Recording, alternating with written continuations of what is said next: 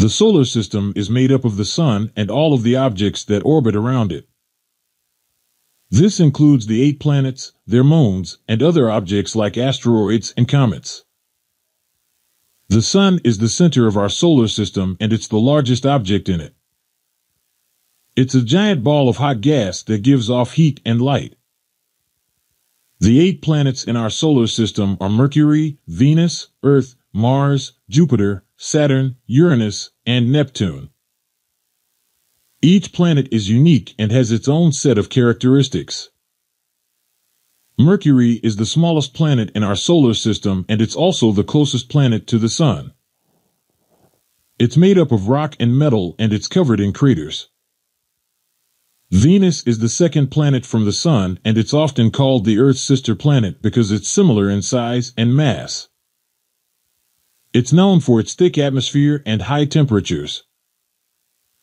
Earth is the third planet from the Sun and it's the only planet known to support life.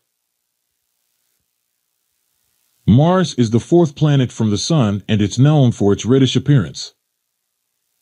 It's a rocky planet with mountains and valleys, and scientists believe it may have once had liquid water on its surface.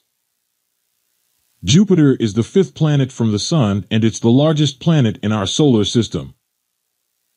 It's a gas giant with powerful winds and it's home to some of the most iconic features in our solar system, like the Great Red Spot.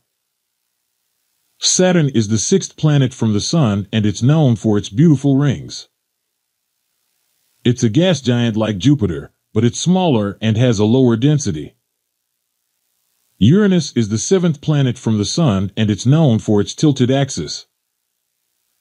It has a blue-green appearance and it's a gas giant like Jupiter and Saturn. Neptune is the eighth planet from the Sun and it's known for its blue appearance. It's similar to Uranus in size and composition, and it's also a gas giant. In addition to the planets, our solar system also includes smaller objects like asteroids and comets. Asteroids are small, rocky objects that orbit the sun, and comets are made up of ice, dust, and rock. They both orbit the sun, but comets have more elliptical orbits and are often more visible from Earth. That's a brief overview of the solar system. Thanks for watching.